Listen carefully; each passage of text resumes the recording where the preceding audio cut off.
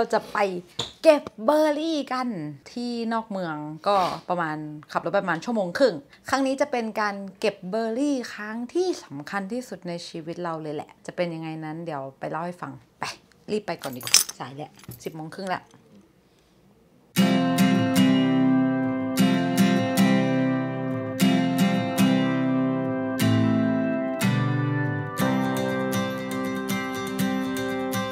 You've been down this road for far too long. He left your love behind. But still, you keep on crawling back despite the pain inside. ตอนนี้เราก็มาถึงแล้วค่ะ สถานที่เก็บเชอร์รี่ ไม่ใช่เชอร์รี่เป็นแบบพวกเบอร์รี่ มีหลายอย่างเลยอะอยู่ข้างใน เดี๋ยวเข้าไปดูกันดีกว่าว่าข้างในจะเป็นยังไง ไม่เคยมาเหมือนกันนะ น่าจะมีฤดูดีน่าจะมีพีชด้วย ไปเออเขามีพี่ที่เก็บด้วยนะเออ เราเห็นคนข้างๆถือพีชมา เออข้าวโพดปิ้ง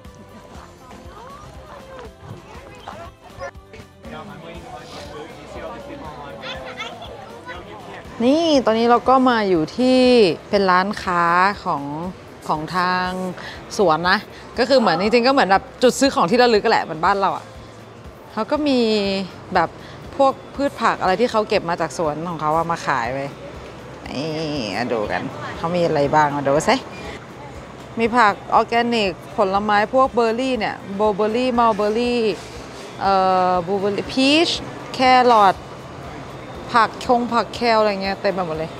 ไข่หรือว่านมอะไรพวกนี้เขาก็คือเป็นฟาร์มของเขาเองเลยนะ นี่ก็เป็นแบบจุดขายเหล้าเออมีเหล้าเต็มเลย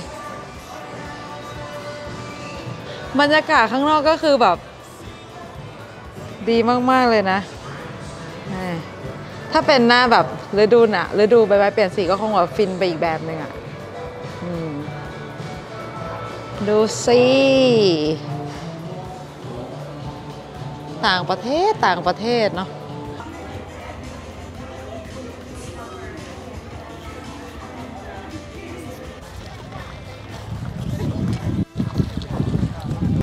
ซื้ออะไรมาเป็น hard cider ใช่ไหมของมึนเมาเนี่ยถนัดฮ่าตอนนี้ก็กำลังจะไปรอขึ้นรถรอบเที่ยง 45 เป็นรอบที่เราจองไว้ว่าเราจะไปเก็บบลูเบอร์รี่ เอ้ย ไอ้ลูกที่เหมือนลูกหม่อนอะภาษาอังกฤษเรียกว่าอะไร ไม่รู้อะแบล็คเบอร์รี่ เออ ไม่รู้เรื่องเลย เออ ที่นี่มันใหญ่มากเลยนะ ตอนแรกเราไม่คิดว่ามันจะใหญ่ขนาดนี้ มันมีทั้งสวนที่ให้เก็บพีช เก็บแอปเปิลเก็บสตรอเบอรี่ เก็บเชอร์รี่ เก็บบลูเบอร์รี่ เก็บพวกตระกูลเบอร์รี่ทั้งหลายอะแต่ว่ามันไม่ได้อยู่ใกล้กัน มันก็จะต้องนั่งรถไปคนละทางอืมไปเช็คอินก่อน ค่าตั๋วก็ถูกมากเลย มึงค่าตั๋วเท่าไหร่นะ 36 เหรียญเขาได้ 5 คน ตกคนละ 5 เหรียญเองอะเอ๊ะ ตกเลขอีกแล้ว ค่า 30 คนละ6เหรียญตรงนี้นะคะก็เป็นจุดที่จะมาลงทะเบียนแล้วก็ซื้อกล่องที่จะเข้าไปเก็บมันเหมือนมันก็คงเหมือนบ้านเราที่ให้ไปแบบให้ตะกร้าอันนึง แล้วก็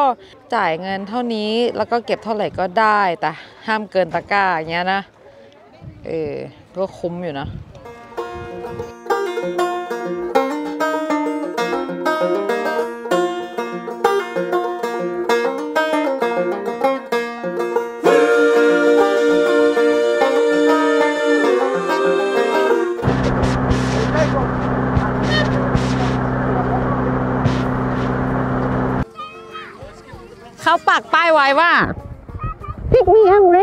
ก็คือ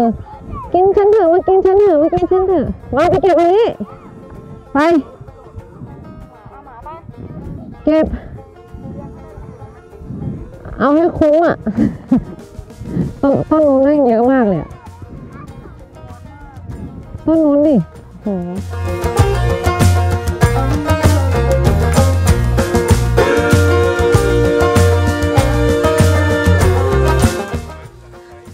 มาให้หนึ่งลูก เอ้ยท็อปลูกนี้หน่อยจะแดง นี่นี่นี่นี่เห็นว่าลูกเล็กอะหยิบมาดิ เออ แดงปะ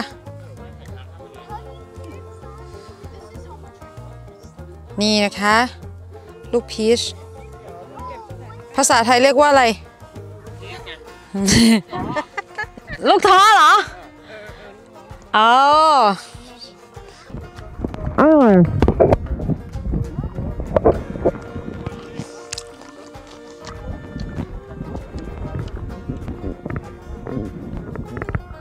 อันจริงๆมันก็ไม่ได้จำเป็นต้องต้องสุกมากเท่าไหร่นะ I got five pieces.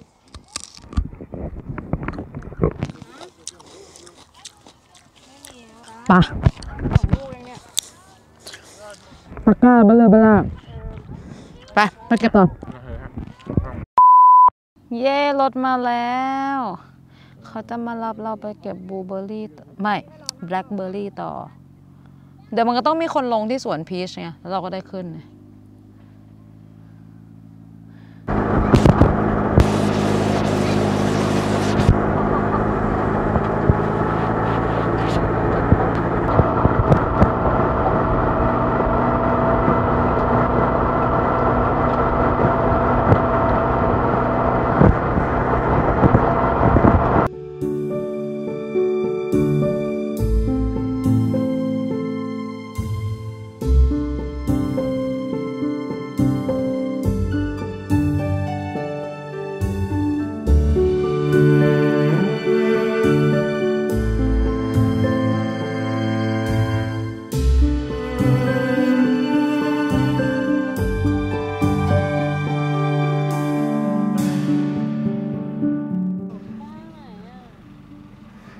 นี่คือต้นแอปเปิลนะ ตอนนี้เราไปเก็บสวนแอปเปิลกัน เดินไปตรงไหนมีคนนะเออน่ะนี่คือต้นแอปเปิลนะทุกคนไอ้ท็อปมึงไปเก็บให้ด้วย อันนั้นเก็บบลูเบอร์รี่ เออท็อปนี่ถุงแอปเปิลอะนี่อะไรหรอ ถุงใส่แอปเปิลตัวแอปเปิ้ลหรอ ไปเก็บให้เต็มถุงเต็มจนกว่าจะเต็มจะได้กลับบ้านนี่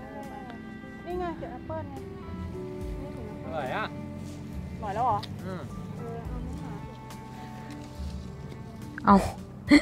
ซื้อหนึ่งแถมหนึ่งไม่เห็นนะไปหอมปะโอ้ยเน่าเหรอว้ายแอปเปิลมีพิษค่ะ คุณหมอแอปเปิลมีพิษค่ะมีรู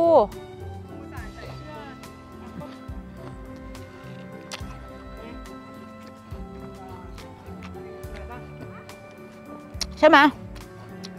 อร่อย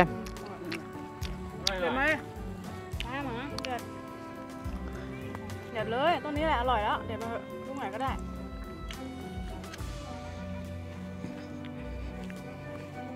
แบบเนี้ยก็ดีแล้วไงแล้วเดี๋ยวใส่ถุงมาเอาให้เต็มอะต้นนี้มันอร่อยเหรอเนื้อมันอร่อย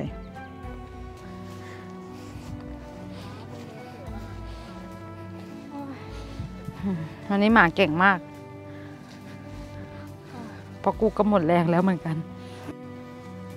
ดีนะกินหมูมาเมื่อเช้าอะเมื่อวานยังได้กลิ่นอะไรเออกินอะไรเอ่ยกินอะไร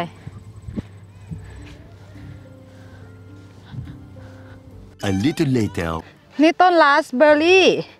ไผ่บอกว่าเหมือนต้นอะไรนะ เหมือนต้นผักบุ้ง เออ เหมือนจริงด้วยมีดอก ดอกสีม่วงๆเหมันดอกผักบุ้งเลย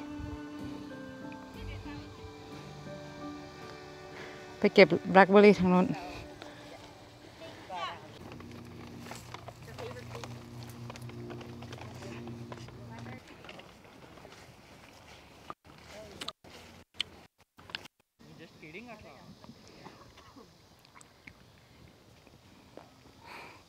เพลินก็ที่เราบอกเนาะว่าการมา อร์รี่ เอ้ยไม่ใช่เก็บเบอร์รี่ครั้งนี้มันสำคัญกับเรามาก เพราะเพราะว่าครั้งนี้เป็นการที่เราพาเพื่อนเราก็คือท็อปนะมาพักผ่อนก่อนที่พรุ่งนี้เพื่อนเราจะต้องไปเจอกับศึกใหญ่พรุ่งนี้เพื่อนเราจะต้องไปรับยาคีโมค่ะ แล้วก็วันอังคารก็จะต้องฉายแสงก็น่าจะต้องใช้เวลาในการทำคีโมประมาณ 6 เดือนอก็ท็อปแข็งแรงมาก ครั้งนี้ไม่ใช่ครั้งแรกท็อปเคยตรวจเจอเมื่อตอน 6 ปีที่แล้วท็อปตรวจพบว่าเป็นมะเร็งในสมองอมตกใจมากตอนนั้นก็มันก็อายุยังน้อยอยู่เลยทำไมเป็นได้วะเออก็ได้รับการช่วยเหลือจากทางแพทย์อย่างดีเนาะเขาก็ผ่าตัดเอาก้อนร้ายออกไปท็อปก็สามารถมีชีวิตอยู่มาได้อีก 6 ปีอย่างปกติ แล้วก็ มันกลับมาอีกครั้งหนึ่งค่ะ ก็อยากเป็นกำลังใจให้เพื่อนตอนนี้อุ้มกับท็อปก็มาอยู่ที่บ้านเราอืมก็เพราะว่าบ้านเราอยู่ใกล้โรงพยาบาลเนาะจริงๆ อุ้มกับท็อปย้ายไปอยู่ฟลอริดาแล้วเออก็ช่วยเหลือกันเป็นเพื่อนกันอุ้มก็เป็นเพื่อนเราตั้งแต่ตอนมานิวยอร์กใหม่ ๆ เลย อืมก็คบกันมา 9 ปีกับ10 ปีละ ก็อยากให้ เพื่อนๆ ส่งกำลังใจให้ท็อปด้วยนะคะ จริงๆเราอยากจะช่วยมันนะ เราอยากจะทำแบบเปิดกองทุนตั้ง GoFundMe เนี่ยแต่ว่ามันไม่ไม่อยากทำอะมันอุ้มกับท็อปมันบอกว่าไม่เป็นไรเอออะไรเงี้ยรบกวนคนอื่นเขาแต่เดี๋ยวเราจะลองค่อยๆคคุยดูเนาะเผื่อมันจะมีช่องทาง เพราะว่าค่าใช้จ่ายในการรักษามันก็ค่อนข้างเยอะอก็อยากให้เพื่อนหายเร็วๆกลับมา เล่นเหมือนกันเหมันเดิม คือมันหายจริงเมื่อครั้งที่เรารู้สึกเหมือนแบบมันก็คือเหมือนไม่สบายตัดจึ๊บออกไปหายเลย แต่กระบวนการรักษาก็ค่อนข้างนาน เดี๋ยวไว้ถ้ามีโอกาสจะให้อุ้มมาเล่าให้ฟังว่าอุ้มทำยังไงถึงทำให้ท็อปหาย เป็นกำลังใจให้ท็อปด้วยนะ คลิปนี้ที่อยากพามาข้างนอกเมืองก็เพราะว่าอยู่กันแต่ในตึกสี่เหลี่ยมๆมานาน ออกมาหายใจกันบ้างสดชื่นเลย ปะเดี๋ยวต้องเดินทางกลับนิวยอร์กละ เวลาวันหยุดแสนสั้น